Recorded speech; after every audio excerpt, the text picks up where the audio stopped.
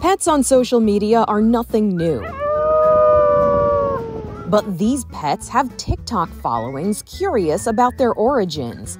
That's because Phoenix the dog and Belle the cat are both clones of their owner's previous pets. Everywhere else, people just, you know, they're just pictures. So it's just another cat on the internet. Um, on TikTok, you can kind of tell a story or, you know, share information about cloning in ways that you can't elsewhere. Kelly Anderson says her late cat Chai was popular on Instagram, but when Chai died unexpectedly, grief prevented her from keeping up with social media and many followers dropped off. Four years later, Chai's clone took to TikTok as Belle the Clone Kitty, where Anderson shares interesting facts about her replica pet. But she insists she didn't clone Chai for followers. People love their pets in all different kinds of ways. And I think that people who clone their pets aren't doing it because they want to carry on their social media legacy or for really any other reason except for love.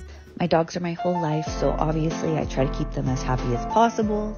And I've also gotten a lot of people be like, oh my gosh, you cloned your dog for social media. And like, which is actually not true at all because I didn't have a social media, like a big following with Willow when I had her. Courtney Udvar Hazy also says she cloned her wolf dog Willow because she was grieving, not because she wanted to be TikTok famous. She also lost Willow suddenly, and when the opportunity arose to clone her beloved dog, she took it. That was just like a personal thing for me and my heart, my dog, me and me and the dogs, and what was right for me. But the social media thing took off really after Phoenix, after doing this cloning thing. That's when it took off.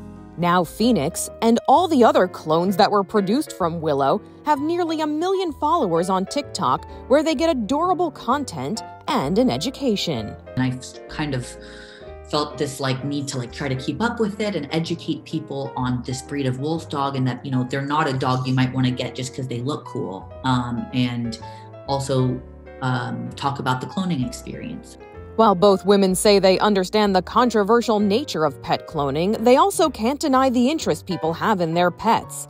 A comforting thought to know that your beloved pet doesn't have to be gone for good. For Inside Edition Digital, I'm Mara Montalbano.